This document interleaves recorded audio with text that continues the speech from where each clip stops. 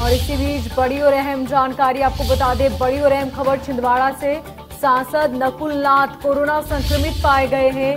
दूसरी बार संक्रमित हुए हैं सांसद, ये बड़ी जानकारी आपको बता रहे हैं।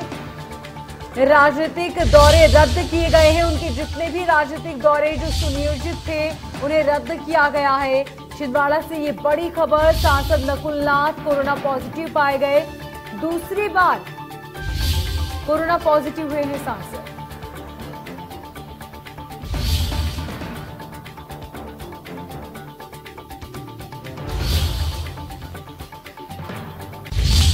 मध्य प्रदेश, छत्तीसगढ़ की हर खबर, सीधे आपके मोबाइल फ़ोन पर। अभी सब्सक्राइब करें हमारा चैनल और पाएँ पल पल की खबर।